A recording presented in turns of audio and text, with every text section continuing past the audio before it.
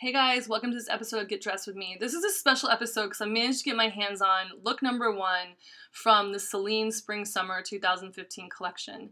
Now, this is runway samples, so the fact that I'm able to, as an 8 to 10 woman, fit into these clothes just should show the versatility of Chloe, I mean, of Celine, excuse me, and of what Phoebe Philo is doing there. Now, I love this Antonio Azzuolo cape on top of it with the Birkenstocks.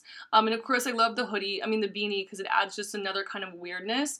The top is almost like a Scrubs t-shirt, um, and the bottom is just like a knit, split open um, skirt that kind of looks like trousers. Now I love it with these Rick Owens boots because it adds a hardness that I always love in my outfits, and um, I think it looks really cool with the dimensions of the skirt, just showing a little bit of the upper thigh.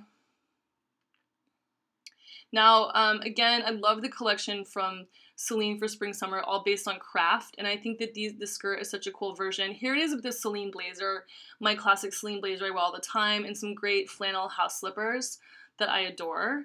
And then, of course, um, one more look with my bomber jacket from Carven. I love the toughness of this with a slipper, so that's a special version. I'll see you guys in the next episode. Check you later.